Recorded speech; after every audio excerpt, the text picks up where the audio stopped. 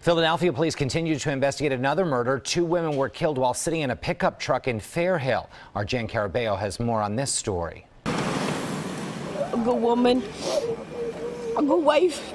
A block in Fairhill, inconsolable Wednesday as news spreads of a double murder in the neighborhood.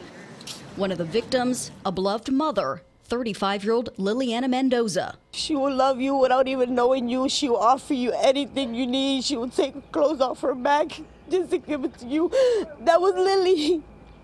Mendoza was gunned down with her 19 year old stepdaughter, Asley Marie Torres, overnight. Family tells Eyewitness News Mendoza and Torres had just returned home around midnight to the 3000 block of North Lawrence Street. With them was Mendoza's 13 year old stepson.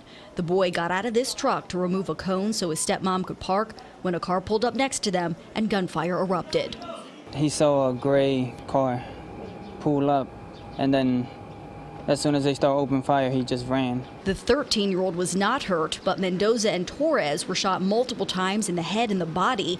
They were found inside that red pickup truck and pronounced dead at the scene. Her life was taken away, you know, just the blink of an eye. Alex Mendoza is Liliana's nephew, but considers her more like a sister. He's remembering her as a kind and giving person. She was just somebody that everybody loved and being around.